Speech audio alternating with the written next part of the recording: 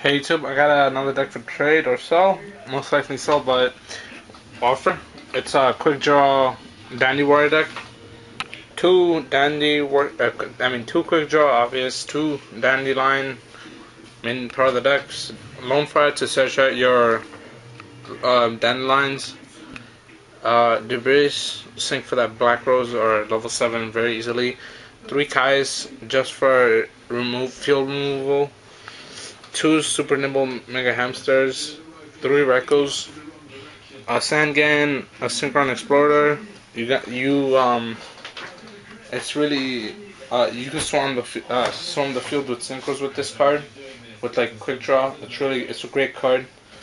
Morphing Jar, Refresh Hands, um, uh, Card Trooper, Mill, like Dandylion, and just so you could set up plays and also Gen's attack, so it's a, like a beat stick. Uh, Lightning Darkness, shut down everything.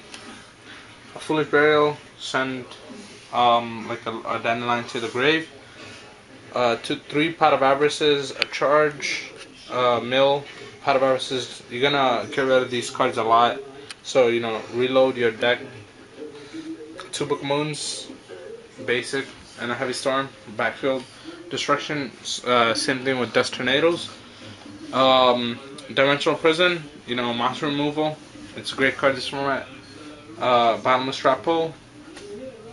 Uh, Solemn Judgment, stop everything. Uh, Torrential, uh, get rid of mass fields.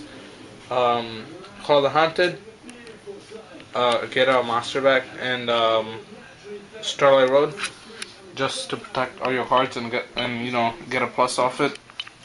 So thanks for watching if you want this deck, just PM.